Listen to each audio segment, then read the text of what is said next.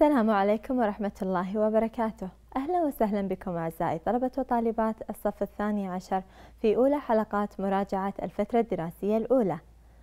في حلقتنا لهذا اليوم راح نراجع مع بعض بعض الأسئلة المتميزة في الفيزياء للصف الثاني عشر لنهاية الفترة الدراسية الأولى.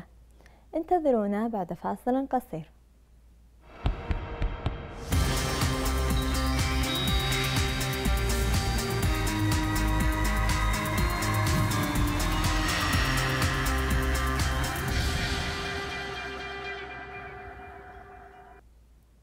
أهلا وسهلا بكم أعزائي الطلبة والطالبات من جديد.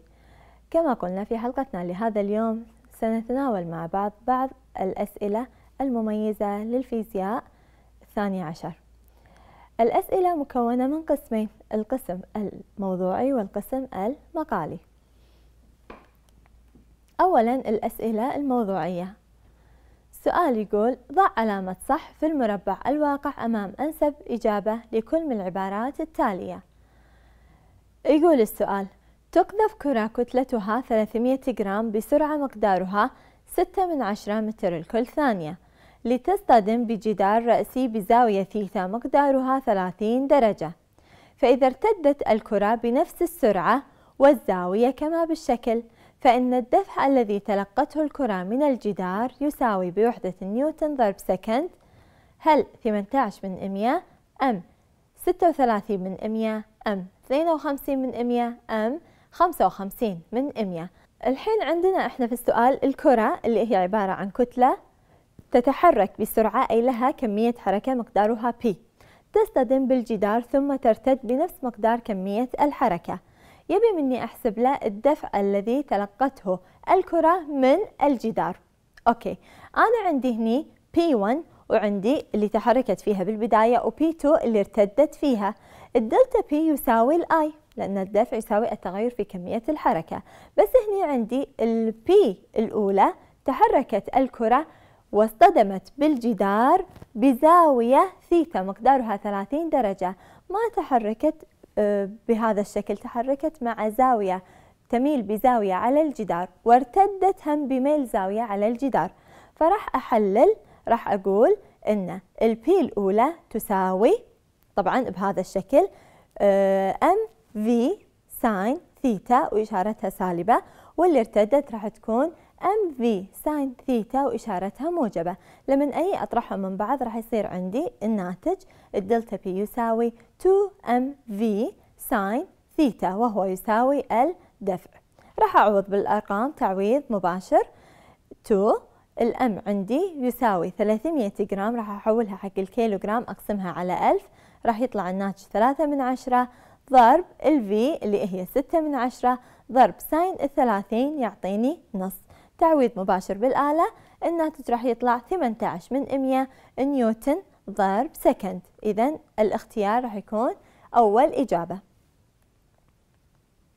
السؤال الثاني يقول يسقط جسم كتلته 5 من 10 كيلو جرام من ارتفاع H فوق نابض مثبت رأسيا من أحد طرفيه كما بالشكل المجاور. فانضغط النابض لمسافة تساوي 20 سنتيمتر. فإذا كان ثابت قوة النابض اللي هو الكي يساوي 200 نيوتن لكل متر فإن الارتفاع H بوحدة المتر يساوي طبعا أنا عندي هني الكتلة اللي هي 5 من 10 آه، سقطت من ارتفاع H وعلى نابض فانضغط هذا النابض. معطيني ثابت النابض يبيني أحسب الارتفاع اللي سقط منه هذه الكتلة سقطت منه هذه الكتلة.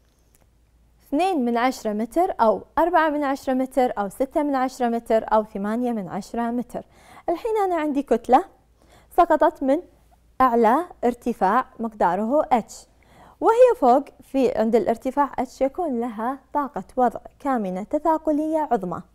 أثناء سقوطها تتناقص قيمة طاقة الوضع التثاقلية وتزداد قيمة طاقة حركتها. okay.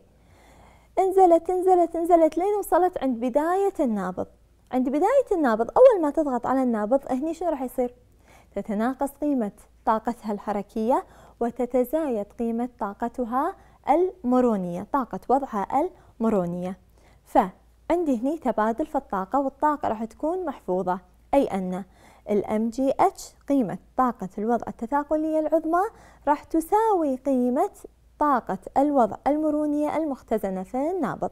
فراح نقول هني عندي ال energy تساوي نص K X تربيع هذه طاقة الوضع المرونية المختزنة في النابض. وتساوي ال M G H اللي هي طاقة الوضع التثاقلية للكتلة وهي عند الارتفاع H نعوض تعويض مباشر نص اللي هي آه، ضرب ال K اللي هي ثابت آه، مرونة النابض ضرب ال delta X تربيع اللي هي 2 من 10 تربيع يساوي ال M نص ضرب العشرة اللي هي عجلة الجاذبية الأرضية ضرب ال H الارتفاع اللي نزلته زائد المسافة اللي تحركتها في النابض مقدارها كم؟ 2 من عشرة. إذا راح أجمعهم مع بعض. هذا يؤدي إلى أن نضبط شكل المعادلة. h زائد 2 من عشرة يساوي 8 من عشرة رتبت من شكل المعادلة. وبالتالي ال h راح تساوي 8 من عشرة ناقص ال 2 من عشرة يعطيني 6 من عشرة. إذا الكتلة كانت على ارتفاع 6 من عشرة. السؤال الثالث. وضعت كرة مقدارها 3 من عشرة كيلو جرام أعلى نابض رأسي مرن مهمل الكتلة. فانضغط لمسافة أربعة من عشرة متر. ثم عاود الاستطالة. إذا كان ثابت النابض 850 نيوتن لكل متر. فتكون سرعة مغادرة الكرة للنابض بوحدة المتر لكل ثانية. هم بعد هني عندي حفظ للطاقة حيث أن الكتلة ضغطت النابض فاختزن النابض طاقة وضع مرونية ثم استطال. إذا راح نقول هني التغير في طاقة الحركة يساوي الشغل. إذا نص M V تربيع ناقص نص M V تربيع الابتدائية طبعا سرعتها صفر يساوي نص K delta X تربيع اللي هو الطاقة طاقة الوضع المرونية المختزنة في النابض. إذا تعويض مباشر أودي النص والأم الطرف الثاني وأجيب جذر عشان أطلع الفي من المعادلة التالية. راح تطلع لي بتعويض مباشر الفي قيمتها 21 متر الكل ثانية. السؤال اللي بعده يقول زنبرك أفقي ثابت قوته 25 نيوتن كل متر مثبت من أحد طرفيه إلى جدار رأسي وتربط إلى نهايته الحرة كتلة مقدارها 2 كيلوغرام. فإذا ضغط النابض بمقدار 40 سنتيمتر معطيني المسافة اللي انضغط فيها النابض فإن أقصى مقدار للعجلة التي تتحرك بها الكتلة بوحدة المتر لكل ثانية تربيع يساوي طبعا بما أن نهاية النابض في كرة راح تتحرك بعجلة. إذا هي كتلة تتحرك بعجلة. إذا يتبع قوانين نيوتن القانون الثاني لنيوتن. وبما أن أنا عندي نابض أثرت عليه بقوة وضغطته إذا راح آخذ قانون هوك اللي هو القوة المؤثرة على النابض. إذا راح أشوف ال A العجلة من القانون الثاني لنيوتن تساوي ال F على ال M. وال F القوة اللي أثرت على هذا النابض هي ال K. في, في ال X تقسيم ال M أعوض تعويض مباشر. ال K 25 ضرب مقدار اللي, اللي انضغط النابض اللي هو 40 سنتيمتر حولتها. صارت 4 من 10 متر. تقسيم ال M اللي هي مقدار الكتلة 2 كيلو جرام أعوض في الآلة راح يطلع لي الناتج خمسة من عشرة متر الكل ثانية تربيع. إذا العجلة التي تتحرك بها الكتلة خمسة من عشرة متر الكل ثانية تربيع السؤال بعده يقول يوضح الشكل مستويان أملسان X و Y يميلان على الأفق بزاويتين مختلفتين. ينزلق عليهما بدون احتكاك بدءا من السكون ومن نفس الارتفاع H مكعبان كتلتيهما M و 2M نحو الأسفل. إحدى الإجابات الأربع التالية غير صحيحة. ننتبه. هني أبي أدور على الإجابة الغير صحيحة. هل عند أقصى ارتفاع عند أقصى ارتفاع تكون طاقة وضع أحد المكعبين مثلي طاقة وضع المكعب الثاني؟ طبعا ننتبه. أنا عندي كتلتين. الأولى مثلي الثانية. الأولى 2 أم والثانية أم. يتحركان على مستوى أملس مائل بزاوية ثيتا 1 وثيتا 2 إذا زاوية ميل المستويين تختلف. ولكن الارتفاع اللي نزلقوا منه الارتفاع واحد. فهني أنت لما تتكلم في الاختيار الأول عن آه، عند أقصى ارتفاع تكون طاقة الوضع يتكلم عن طاقة الوضع. طاقة الوضع للمكعب وهو عند أقصى ارتفاع تساوي M G H. وهي تتوقف على الكتلة والعجلة وال H نلاحظ أن عجلة الجاذبية وال H هذيلي ثوابت للأثنين. الكتلة الأولى مثلي كتلة الثانية إذا عند أقصى ارتفاع تكون طاقة وضع أحد المكعبين مثلي طاقة وضع المكعب الثاني إذا الاختيار الأول صحيح. يقول الاختيار الثاني السرعة النهائية للمكعبين متساوية عندما يصل كل منهما إلى أسفل المستوى المائل الذي يتحرك عليه. طبعا هني راح نشوف من العلاقة. ال W تساوي دلتا K. طبعا في تغير في طاقة الوضع التثاقلية يتحول إلى طاقة الحركة. فراح نقول M G H يساوي نص M V تربيع فال V تربيع تساوي 2 G H فال V تساوي الجذر التربيعي حق ال 2 وال G وال H إذا السرعة متساوية لأنها لا تتوقف على الكتلة إنما تتوقف على الارتفاع والارتفاع واحد للكتلتين. زمن وصول الجسمين يمكن حسابه من المعادلة خلينا نشوف زمن وصول الجسمين. التي طبعا أبي أحسب آه، زمن فراح أجيبه من علاقة ال T آه، تساوي ال V على ال A ال V متساوية للكتلتين ال A عندما يتحرك جسم على مستوى مائل فإن عجلته تساوي G sine theta هذا أنتم ماخذينه من قبل. إذا نلاحظ هني الثيتا متغيرة لأن المستويين يميلان بزاويتين مختلفتين عن الأفق. إذا الزمن هل راح يكون متساوي؟ لا بالطبع راح يكون مختلف. إذا الزمن يتوقف على مقدار الزاويتين. إذا راح يكون مختلف. فراح نختار الإجابة الأخيرة. يصل كل من المكعبين إلى أسفل المستوى المائل الذي يتحرك عليه في وقت واحد وهذه العبارة خاطئة لأن راح يصل كل من المكعبين في زمن مختلف عن زمن المكعب الآخر. السؤال اللي بعده يقول الأشكال التالية تمثل كتل مختلفة تتحرك بسرعات مختلفة. حركة خطية مستقيمة. اثنتان فقط منهما لهما نفس الطاقة الحركية وهما هل دي و A أم C و B أم C و A أم A و B. طبعا أنا عندي الكتلة آه، للشكل A طبعا تساوي M وسرعتها V. راح أحسب طاقتها الحركية نص M V تربيع راح تصير ال kinetic energy للشكل A تساوي نص M V تربيع. للشكل B راح تصير نص في أربعة M في خمسة من عشرة V الكل تربيع. نحسبها للشكل C. لما أجي أحسبها ال kinetic energy للشكل C راح أقول تساوي نص ضرب. نص M ضرب اثنين V الكل تربيع. نشوفها للشكل D راح أقول kinetic energy للشكل D تساوي نص ضرب الواحد ونص M ضرب ال V تربيع. حسابات بسيطة لو تيون تحسبونها راح تصير نلاحظ إن ال A مع ال B طبعا راح يكون في اختصارات راح نلاحظ إن ال B بالنهاية طاقة حركتها راح تساوي نص ام في تربيع تساوي طاقة حركة للشكل A. السؤال اللي بعده يقول جسم كتلته خمسة كيلو جرام تحرك من السكون. من السكون أي أن سرعته الابتدائية تساوي صفر. من أعلى نقطة على سطح مستوي مائل أملس.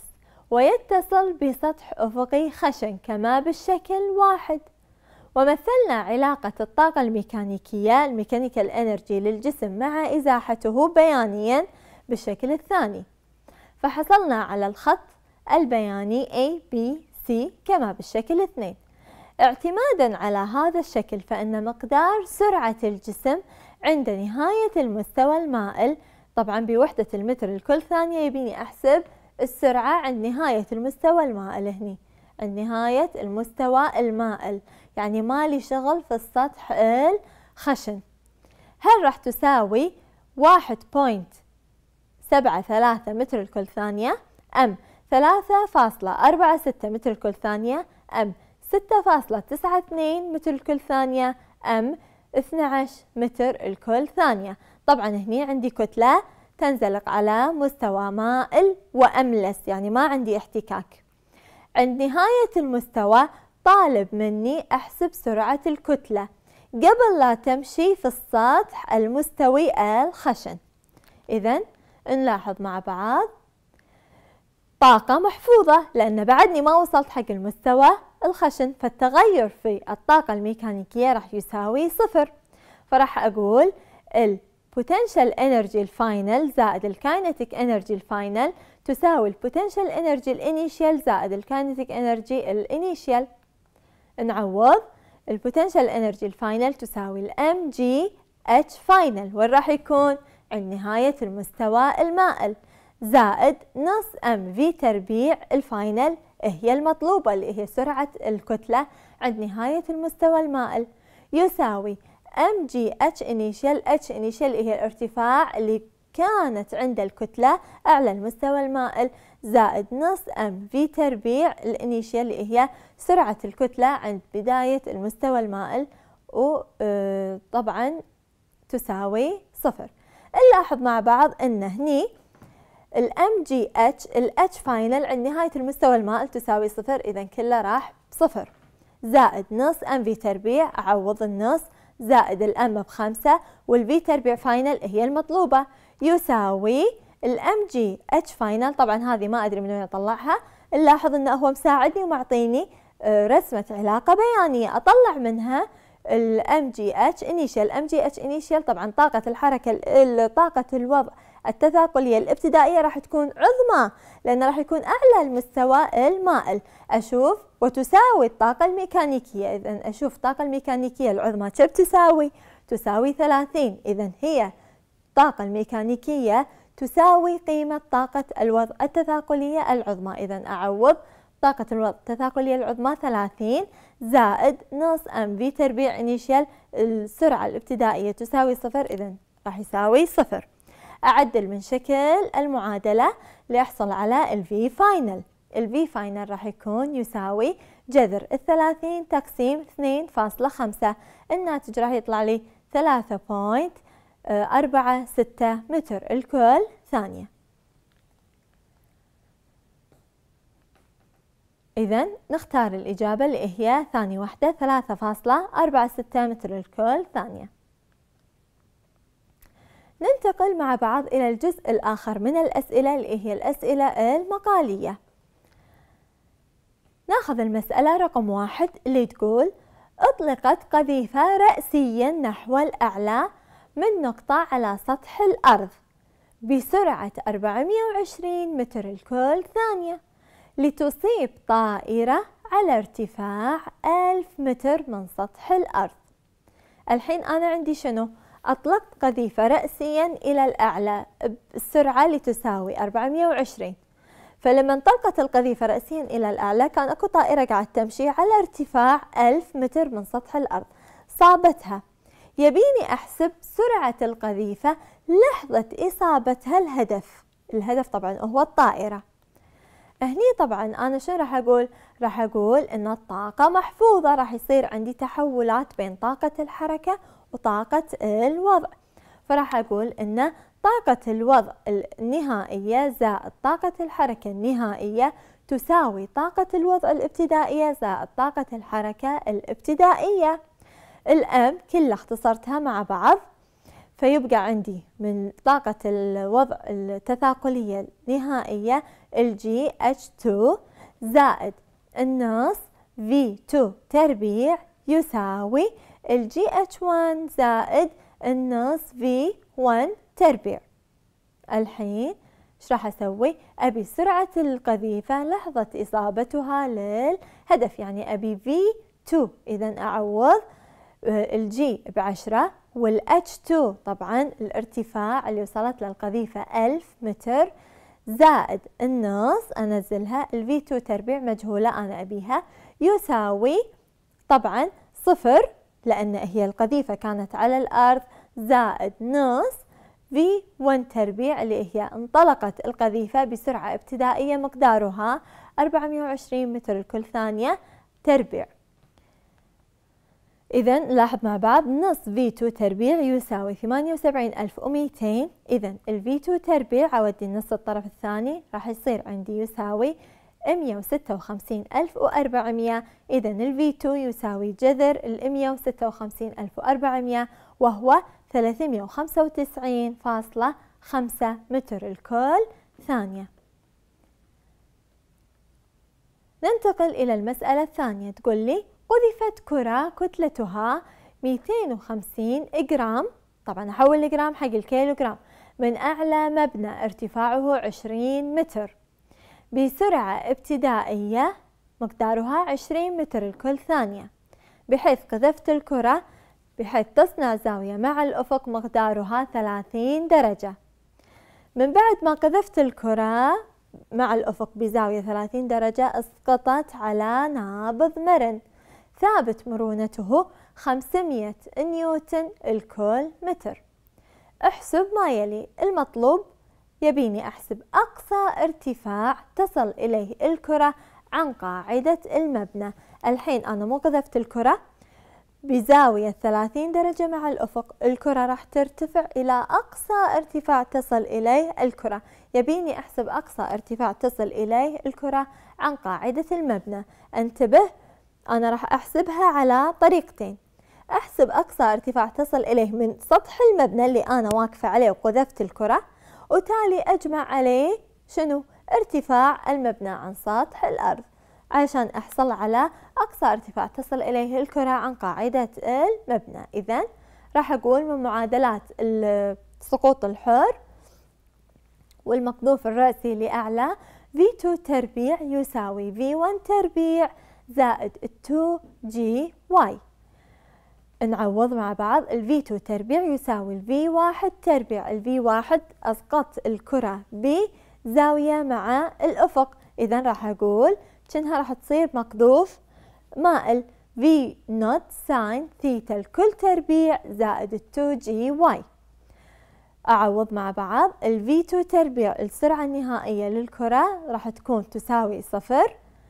يساوي أعوض مع بعض عشرين sine. الزاوية ثلاثين الكل تربيع زائد اثنين ضرب سالب عشرة ضرب ال y. ال y راح تطلع من المعادلة تساوي خمسة متر. طبعا نلاحظ مع بعض أن حطينا العجلة بالإشارة السالبة لأن قذفنا الكرة عكس اتجاه الجاذبية الأرضية فتأخذ الإشارة السالبة. إذا طلع لي الارتفاع لما قذفت الكرة من أعلى سطح البناية. الارتفاع اللي ارتفعته عن عن سطح البناية خمسة متر. أبي الارتفاع اللي ارتفعته الكرة عن قاعدة المبنى أي عن سطح الأرض. راح أجمع عليه.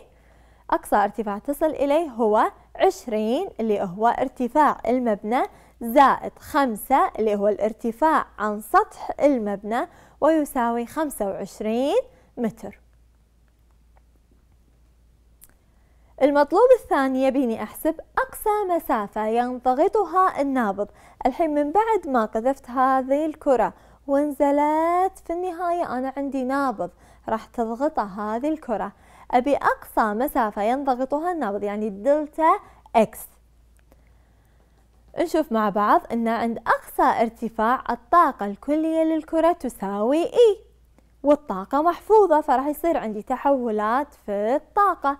إذا ال E تساوي ال K زائد ال U وتساوي نص m v x تربيع زائد ال mgh نعوض مع بعض نص ال m اللي هي آه، ميتين وخمسين من ألف ضرب ال v وتساوي عشرين cosine ثلاثين. الكل تربيع زائد نروح حق الجزء الثاني اللي هو mgh ال m 250 من ألف ضرب العشرة اللي هي الجي ضرب الأتش اللي هو الخمسة وعشرين.